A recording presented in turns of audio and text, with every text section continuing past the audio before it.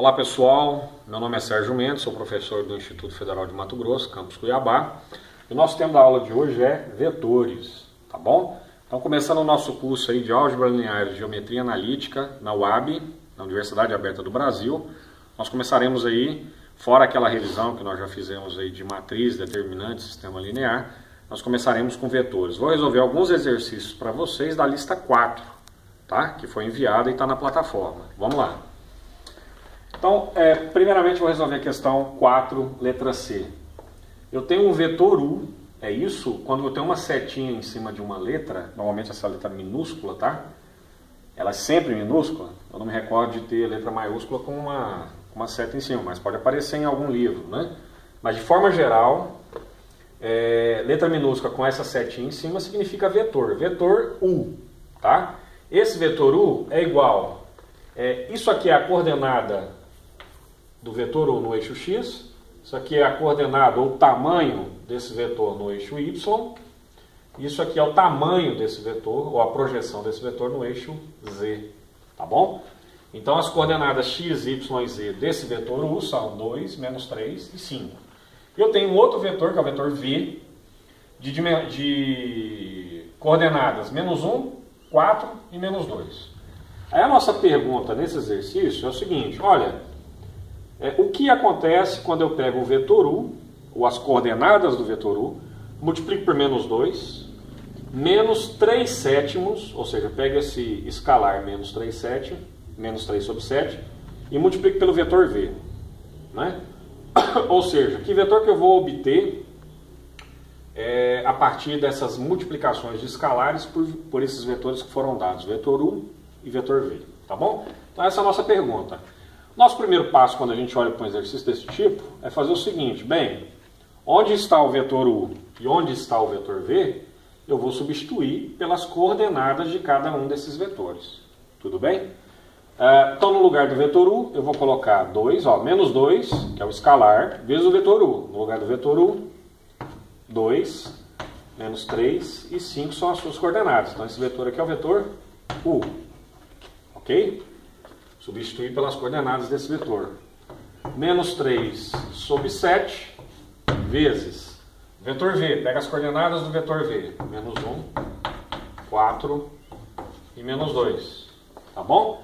Eu vou encontrar um vetor é, resultante aí no final dessa, dessas operações que eu vou realizar. Lembrando que esse aqui é o vetor V. As coordenadas do vetor V. Olha, quando eu tenho escalar multiplicado por um vetor, eu vou pegar esse escalar e multiplicar por cada elemento do vetor. Aqui eu vou fazer a mesma coisa. Tá bom? Então, menos 2 vezes 2, menos 4. Menos 2 vezes menos 3, 6. Menos 2 vezes 5, menos 10. Menos, mantenha esse menos aqui por precaução, tá bom? Para a gente não fazer confusão. Na verdade, você tem duas maneiras é, de resolver essa, essa, essa continha aqui. Mas eu vou preferir deixar esse menos aqui, deixa ele quieto. Vou pegar só a parte, só o, o, módulo aqui de menos 3 sobre 7, que é 3 sobre 7, sem sinal, multiplicar por menos 1, multiplicar por 4 e multiplicar por menos 2. Tá? Então, menos, parênteses, 3 sobre 7 vezes menos 1, menos 3 sobre 7. Tá? Então, vou pegar numerador vezes numerador, Imagina que tem um 1 aqui, ó, 7 vezes 1, 7 embaixo. Então, menos 1 vezes 3 sobre 7, menos 3 sobre 7. Deixa esse sinal de menos antes, deixa ele quieto. Menos 3 sobre 7 vezes 4 dá menos, minto, 3 sobre 7 vezes 4. Esquece o menos. O menos está aqui quieto. 3 sobre 7 vezes 4 dá 12 sobre 7. E 3 sobre 7 vezes menos 2 dá menos 6 sobre 7. Tá ok? Quando eu tenho, esse aqui é o vetor menos 2u, tá aqui. Esse aqui é o vetor 3 sobre 7v, lembrando que o sinal de menos está aqui intacto, tá? 3 sobre 7v é esse vetor. Quando eu tenho um vetor menos outro vetor, ou um vetor mais outro vetor, eu tenho que fazer o seguinte, eu tenho que somar as coordenadas correspondentes. Eu vou somar a coordenada em x desse vetor com a coordenada em x desse vetor. Eu vou somar a coordenada em y desse vetor com a coordenada em y desse vetor. Vou somar a coordenada em z desse vetor com a coordenada em z desse outro vetor. Então vai ficar assim a nossa conta. Ó. Menos 4. Ó, menos com menos, mais. Por isso que eu pedi para vocês deixarem esse menos quieto, tá? Porque agora você vai fazer o jogo de sinal. Ó. Então, menos com menos, mais. Ok, então já somei as coordenadas em x dos dois vetores. Soma as coordenadas em y dos dois vetores. Então, vou ficar com 6 menos 12 sobre 7. Esse menos vai fazer jogo de sinal com todo mundo que está aqui, aqui, nesse vetor. Menos 10 menos. Então, menos. Só que aqui tem outro menos. Então, faz jogo de sinal dá mais. Então, menos 10 menos menos 6 sobre 7. Menos 10 mais 6 sobre 7. Tudo bem? Ok. É... Aqui você vai fazer o seguinte, ó. Você vai tirar mínimo, o mínimo aqui é 7. Vai tirar o mínimo, o mínimo aqui é 7. Aqui também é 7. Eu vou ficar primeiro com 7 aqui. 7 dividido por 1 dá 7, vezes menos 4, menos 28. Mais 3. Porque 7 dividido por 7 dá 1, vezes 3, mais 3. Ok, resolvi. Ou seja, Somei as coordenadas em x desse vetor. 6 menos 12 sobre 7, tira mínimo. 7 de novo. 7 dividido por 1 que está aqui embaixo, ó, dá 7 vezes 6. 6 vezes 7, 42. Então, 42 menos 12. E, por fim, mínimo é 7 7 dividido por 1 dá 7 vezes menos 10, menos 70, mais 6. Ok? Resultado final. Vou colocar aqui para a gente aproveitar esse espaço e não interferir no próximo exercício. Menos 28 mais 3 dá menos 25 sobre 7. Então, menos 25 sobre 7. Ok. Essa é a coordenada em x que resulta quando eu somo menos 2u menos 3 sobre 7v. Vetor V. 42 menos 12, 30. Então fica 30 sobre 7. Percebam que não dá para dividir, né? Essa fração é uma fração irredutível. Eu não tenho é, um máximo divisor comum diferente de 1 para esses dois caras. Eu não tenho ninguém que é comum além de 1 para esses dois caras. Ou seja, a divisão fica como está. Não precisa você pegar a calculadora e dividir 25 por 7. Você vai dar um número quebrado. Tá bom? A mesma coisa para 30 sobre 7. E por fim, menos 70 mais 6 dá menos 64 sobre 7. Então, menos 64 sobre 7. Então, isso aqui que vocês estão vendo é o resultado de menos 2 vezes o vetor u, menos 3 sobre 7 vezes o vetor v. Então, o resultado é esse dá um vetor cuja coordenada em x é menos 25 sobre 7, coordenada em y 30 sobre 7 e coordenada em z menos 64 sobre 7. Segundo exercício que eu escolhi, número 5, eu tenho um vetor u, tenho um vetor v. Detalhe, é, os vetores u e v que aqui estão, eles estão no espaço, porque eles têm três dimensões, x, y, z. Nesse exercício, os vetores que aqui estão, são vetores que estão em duas dimensões, ou seja, eu só tenho x e y, não tenho z. Então, nós falamos que são vetores que estão no plano, no plano x ou y, ou no plano cartesiano. Vocês verão na, na lista um exercício que pede para que você represente alguns vetores no plano cartesiano. Aquele plano, ó, eixo X, que é o eixo das abscissas, na horizontal, e eixo Y, que é o eixo das ordenadas na vertical. Lembrando que é que esses planos são ortogonais, né? Tem um ângulo de 90 graus entre eles aqui. Primeiro quadrante, segundo quadrante, terceiro quadrante, quarto quadrante. Então você vai ter que representar alguns pontos. No primeiro quadrante, tanto x como y são positivos. No segundo quadrante, x é negativo e y é positivo. No terceiro quadrante, x é negativo e y negativo. E no quarto quadrante, por fim, x positivo e y negativo. tá bom? Vocês vão explorar isso quando chegar o exercício, uh, um exercício que está na lista 4. Beleza.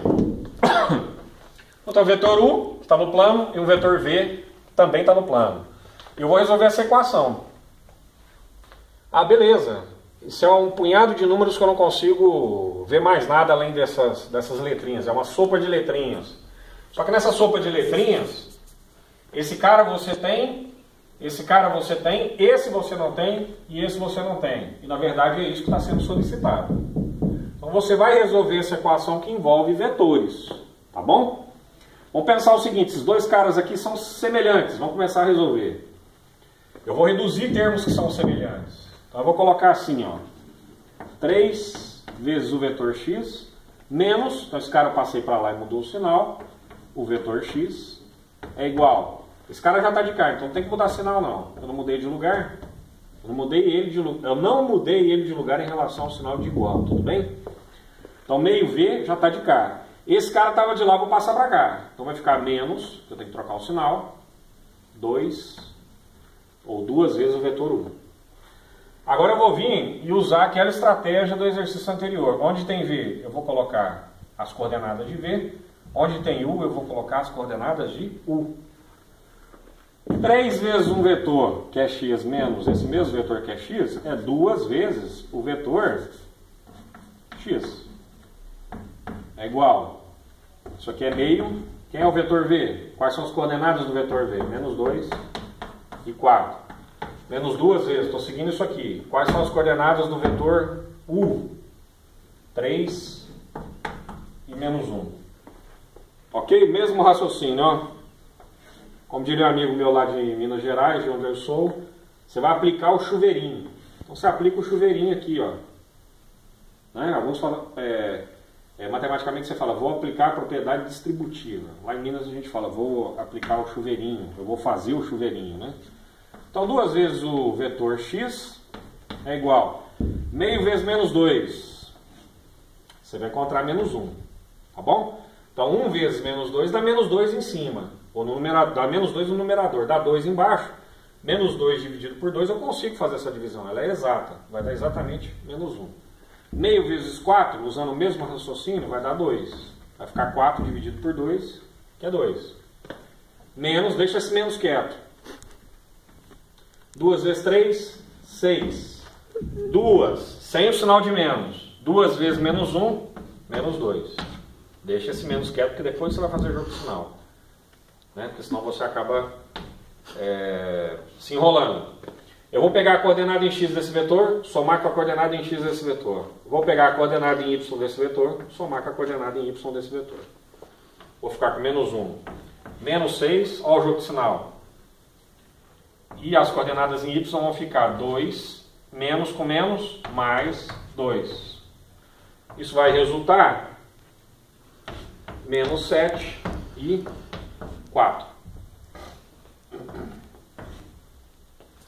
Então, esse cidadão é igual a esse cidadão. Tá bom? Então, 2x é igual a menos 7 e 4. Olha, eu estou querendo encontrar o vetor x, ou as coordenadas do vetor x. Esse 2 está multiplicando. Nós já aprendemos que quando um número está multiplicando uma determinada variável aqui, que no caso é o vetor x, quando eu quero passar esse número para lá, para deixar o vetor x sozinho, porque eu quero, estou atrás desse vetor x, né, as coordenadas desse vetor, esse 2 vai passar para lá dividindo. Então isso na prática fica assim, ó. 2 está multiplicando, passa para lá dividindo. Então vai ficar com x sozinho. 2 passou dividindo. Dividir um cara por 2 é multiplicar esse cara por meio. Pensa um pouquinho nisso. Dividir um cara por 2 é, é, multiplicar esse cara por meio.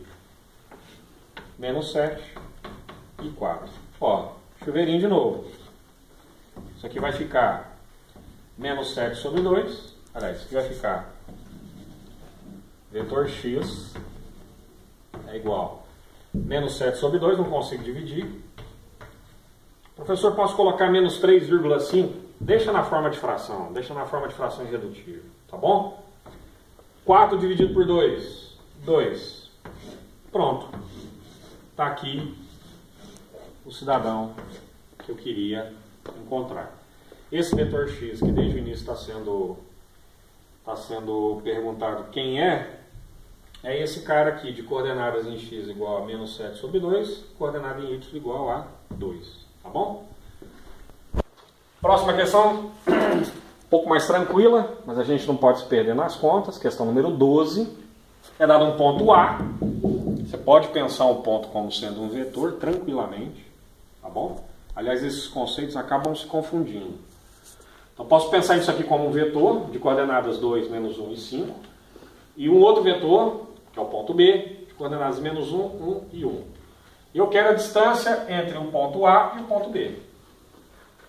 Então, nós vamos resgatar a formulinha. Ó. Distância entre dois pontos, elevado ao quadrado, é igual a delta x elevado ao quadrado mais delta y elevado ao quadrado mais delta z elevado ao quadrado. Professor, eu vi num livro, ouvi numa apostila, ouvi num vídeo que o DAB, que é a distância entre o ponto A e B que eu estou procurando, é raiz quadrada dessa turma toda.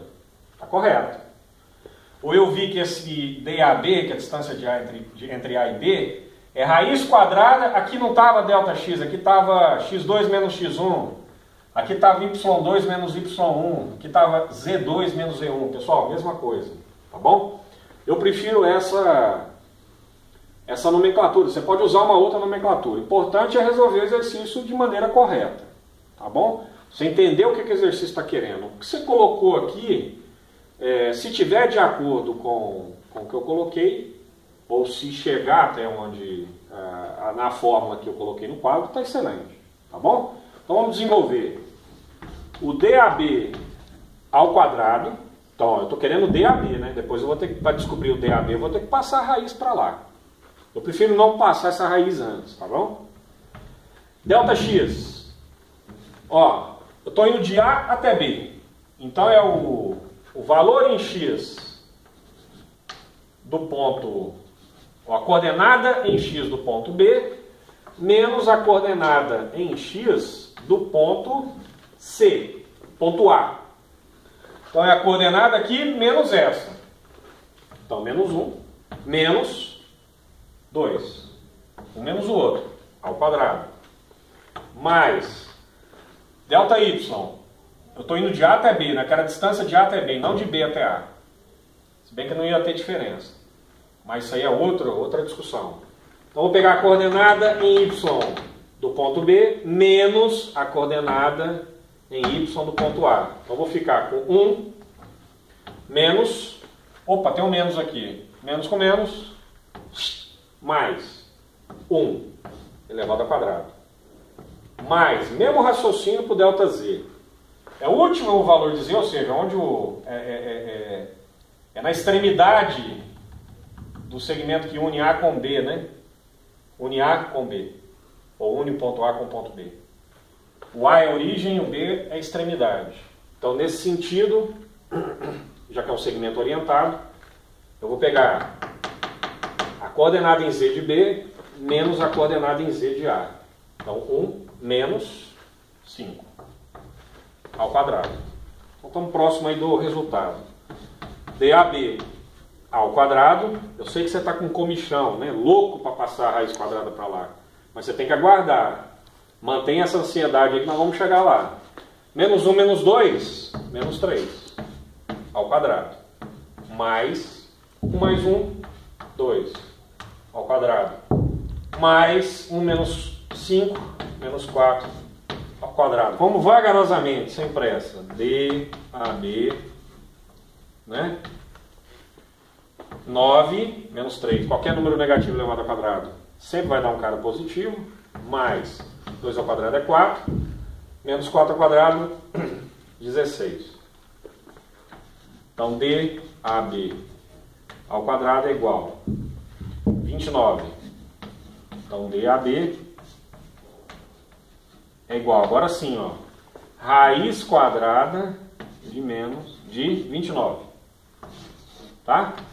Eu sei, você também está louco para pegar e tirar esse cara da raiz, pegar uma calculadora científica, calcular, descobrir quanto que é a raiz quadrada de 29. Você não precisa é, ficar tão desesperado nesse ponto, tá? É só você pensar o seguinte, raiz quadrada de 25 é raiz quadrada de um cara que é quadrado perfeito. Né? Por que, que 25 é um quadrado perfeito? Porque tem um número inteiro que é elevado ao quadrado. Aliás, tem dois números inteiros, que é 5 menos 5, que é elevado ao quadrado, vai dar quanto? 25.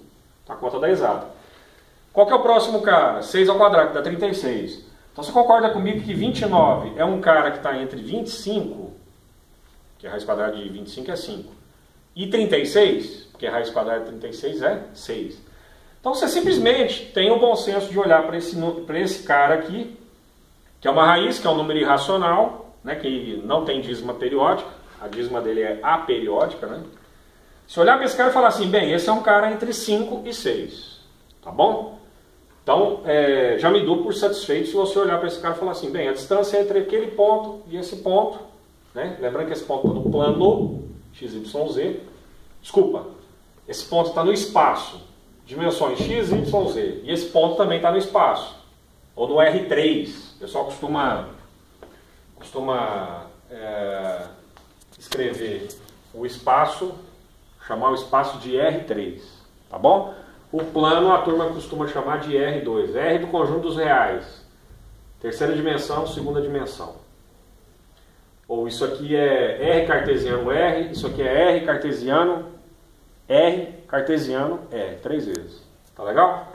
Então, esquecendo essa parte aí, que é desanimadora, para quem está ouvindo, vamos voltar para cá. Fico satisfeito se você olhar para esse cara e falar, é um cara que está entre 5 e 6. Tá bom? mais próximo de 5 do que de 6. Beleza. Último exercício, quarto exercício da nossa lista 4. É um exercício que vai dar um pouco mais de trabalho, mas é um exercício que vai te dar uma satisfação tremenda, porque você ao fazê-lo vai pensar assim, poxa, agora eu sei por que, que eu estudei tanto matriz, determinante, sistema linear. Tinha que ter uma razão, não é isso? Você que está nessa crise existencial aí, pensando, poxa, para que, que eu estudei esse assunto se eu não vou usar? Vai usar sim. Mas vamos resolver um exercício aqui que envolve matriz, determinante sistema linear. Envolve os três. Tá legal? Veja bem, eu tenho um vetor V. Esse vetor é combinação é, de três outros vetores, ou seja, tem três vetores que formam a base desse vetor V aqui, que é o vetor V1, o vetor V2 e o vetor V3. Né? Essas três bases, de, eh, esses três vetores formam a base que geram ou que gera o vetor V. Essa discussão é uma discussão mais lá da álgebra linear, uma discussão mais aprofundada. A nossa álgebra linear, na verdade, é uma álgebra vetorial, tá bom? Ela vem com esse nome bonito de álgebra vetorial, de álgebra linear, mas na prática ela é uma álgebra vetorial. Nós vamos trabalhar com vetores e ao acabar essa parte de vetores, né, semana que vem a gente tem mais um vídeo sobre vetores, explorando produto escalar, também conhecido como produto interno, e produto vetorial. Nós vamos explorar esses dois assuntos e acabou o vetor. De vetor nós já vamos partir é, para geometria analítica mesmo, né, mais profunda. Então, essa parte de álgebra vetorial, essa parte de álgebra linear, na verdade é uma álgebra vetorial. Tá, esse vetor é combinação linear é, de A1, V1, mais A2, V2, mais A3, V3. Não se preocupe com esse termo, combinação linear. Isso é um termo lá da álgebra linear. Eu sei que esse vetor está no espaço, o vetor V, que é isso aqui, ó. Ele está no espaço e tem essas três coordenadas. O vetor V1 também está no espaço e tem essas três coordenadas. O vetor V2 tem essas três coordenadas. E o vetor V3 tem essas três coordenadas. O exercício está pedindo quem é A1, quem é A2, quem é A3. Tá bom? Olha, nós vamos usar o mesmo raciocínio dos exercícios anteriores. Pelo menos dos dois primeiros, não desse último que eu acabei de resolver. Aonde tiver V, coloca as coordenadas de V. Onde tiver V1, coloca as coordenadas de V1. Onde tiver V2, coloca as coordenadas de V2. Onde tiver V3, coloca as coordenadas de V3. Tá bom? Vamos substituir. Então, o vetor V, que é, ou que tem como coordenada 5, 4, menos 3, é igual a 1, não conheço, deixa ele quieto. V1 menos 1, 1 e 3, mais A2, V2, quem é V2? Está aqui as coordenadas de V2. 1, 2, 1, mais A3, vezes coordenadas de V3. Estão aqui as coordenadas de V3. São menos 1, 4, menos 2. Tudo bem? Beleza. 5, 4 menos 3 é igual. Ó, chuveirinho.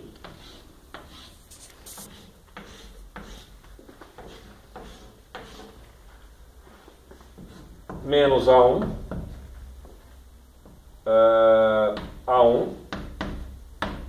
3A1. Mais A2. 2A2 e A2. Ma mais menos A3, 4 A3,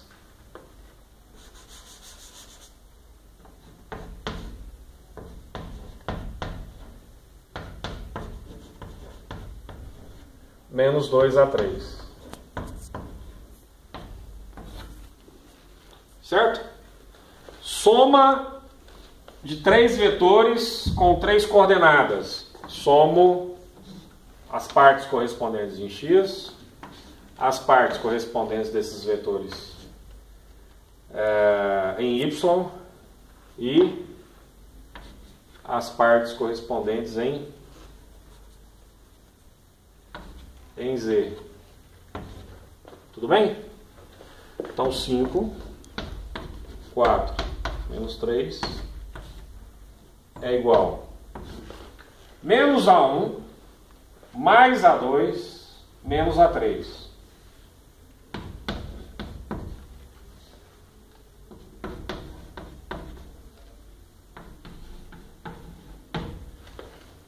As três coordenadas dos três vetores aqui somados, né?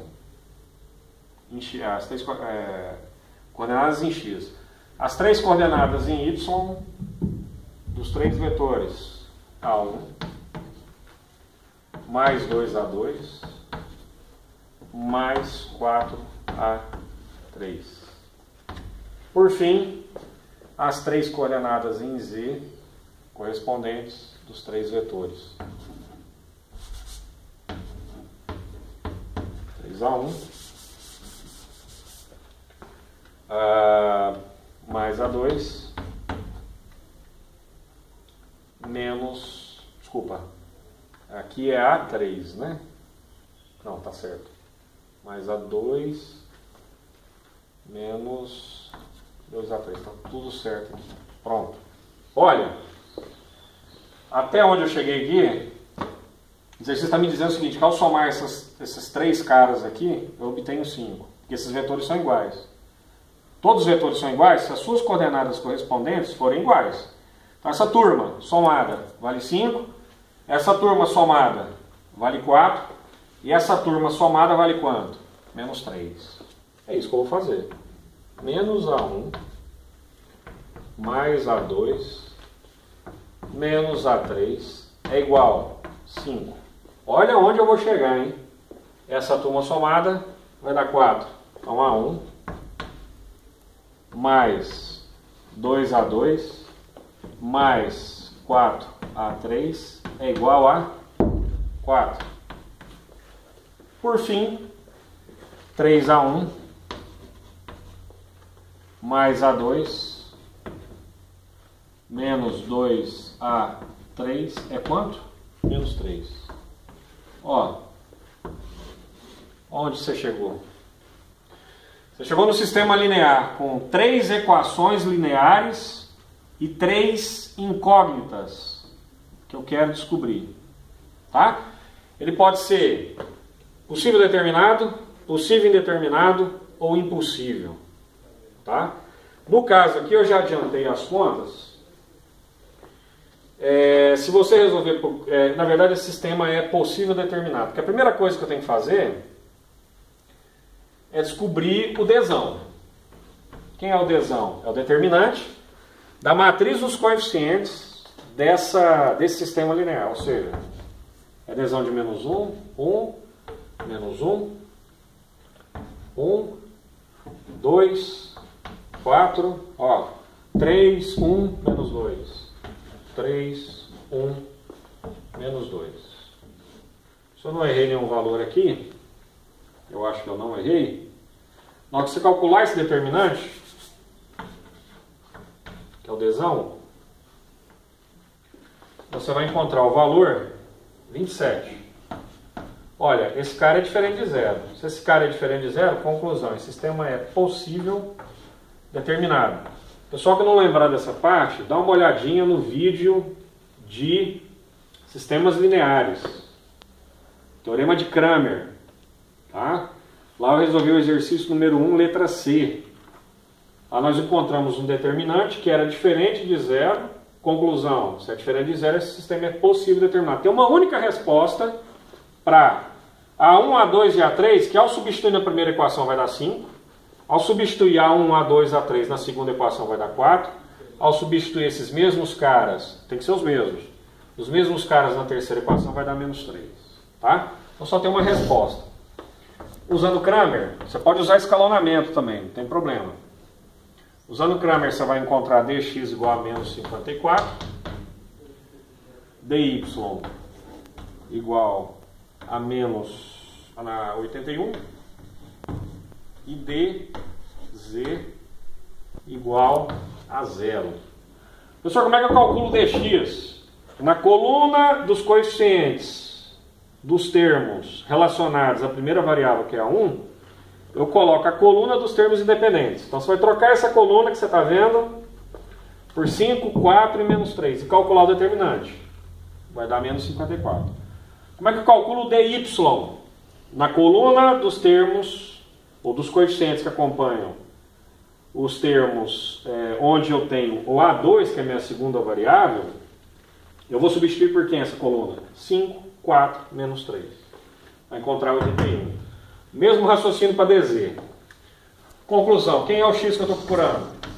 Dzão x sobre dzão, ou seja, menos 54 sobre 27.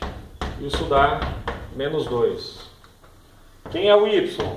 Mesmo raciocínio, dy sobre dzão, ou seja, 81 sobre 27, que dá 3. Quem é o z? Desculpa, é... não é dx, dy, dz. É d, eu vou chamar de dA1 as nossas variáveis não são x, y, a gente se acostuma demais com isso, né? É, as nossas variáveis que eu estou procurando é A1, A2, A3. Então, aqui D, A3, tá? Então, na verdade,